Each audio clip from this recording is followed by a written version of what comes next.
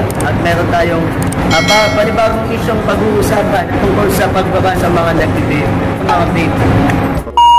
So ito, uh, may bibisitahin tayo isang vape shop. Siyempre, isang tambayan sa ating mga nating promoters. Kaya samahan nyo ako para interviewin sila kung anong mga reaction nila tungkol sa issue at sa usaping ito sa ating Vapers community. Shoutout sa ating mga kapwa promoter na nag-vape. Shoutout natin si Lady June Rasiana ng Never Express Marikina. Shoutout sa iyo.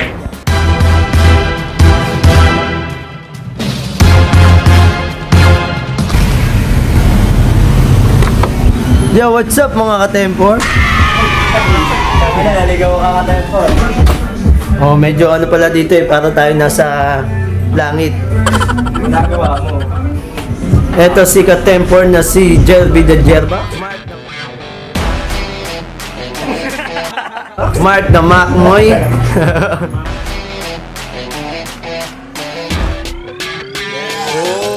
Demi Boy. Kamote Rider.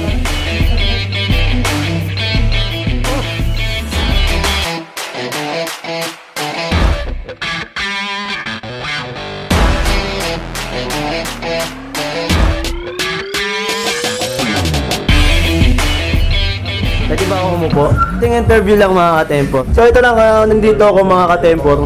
Kung gustong alamin, tanungin sa inyo regarding to sa issue ng vape community, di ba?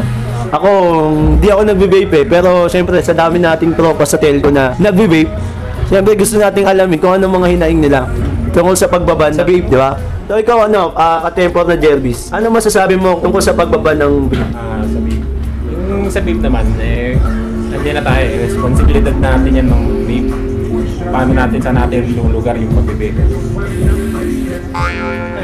Tama din naman, hindi. Kasi, ang wrong move lang kasi nila dito. Para nilang, parang kasing gun ban ang nangyari. Kahit sa smoking area, hindi na daw sila pwedeng mag-vape. Dito sa area natin, wala namang problema kasi malapit lang naman ang mga authorized vape shop natin. Sa yun lang, ah, mali vape wisely, siyempre. Huwag na kung saan saan mag-vape. Dati, nililimitahan nila yung pagpaninigarilyo, pero ngayon nagbago na yung iba para lang sa kalusugan. Walang tax eh. No. Kay Mark Macmoy. Sa mo ng buga, what's up mga kabugaan? Gulat kayo, no? Okay, ikaw ka-tempor. Yun. Anong masasabi mo tungkol sa pagbaban ng vape sa sa lugar natin? Sa, Actually, bawal nga naman talaga. Siyempre, na-totally ban naman talaga yung vape eh. So, mga nangyayari kasi, may mga ilang uh, buga natin na sobrang pasaway. Buga dito, buga doon. So, siyempre, yung iba may mga babies. So, yung iba may mga hika. So, normal lang na nagagalit. Kaya kasi nauusukan sila. So, siyempre, ang pag-vape talaga dapat nasa lugar. Ganito sa mga authorized na vape shop na may permit talaga. So, doon na lang dapat. Maging respeto na lang din, syempre, sa mga kababayan natin na usukan. Pero, syempre, kapag hipak na hipak ka na, hipak na hipak ka na. Bigla na may dadampot sa'yo. Pero iwas pa rin naman mga kabuga. Kaya, sayang yung mood nyo, yung magandang ate nyo, sayang. So, iwas-iwas na lang muna ng buga-buga sa labas-labas. Dami ko ng tropa na napatigil sa pag-yosi. Kaya nga ako, dati, lakas kong mag-yosi. So, di naman kami counter sa nag-yosi kasi addiction na nila yun eh, di ba? Di na natin mapipigilan yun. So, parang wag na lang gawin sana na porket may vape ka ako, confiscate agad. Kasi may mga ilan na nagre-reklamo na nako-confiscate yung vape nila kahit di sila nag-vape sa public area, no? Pakitaan lang sila kino-confiscate na, wag namang ganun. May mga ganun kasi talaga, may mga pasaway talagang mga kabuga. So, ayun dapat yung inuhuli talaga. Demi Boy, yan. Anong vape ang gamit mo? Patingin niya. Hindi lang naman ba start. Okay lang tayo sa mga murahin. Quality first. Demi Boy, ano ang masasabi mo sa pagbaba ng vape sa ating community? Actually, kailangan talaga maging responsible. Responsible yung people. So, wag buga ng buga kung saan saan. Siguro dito lang sa mga ano, vape shop. Um, sa pagbaban, actually para naman kung totally ban talaga.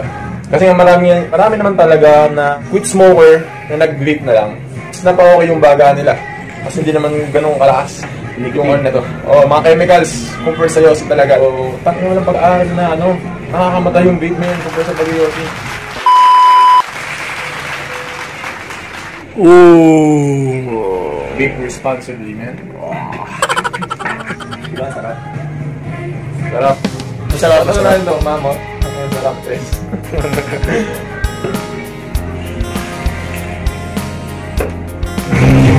Whoa!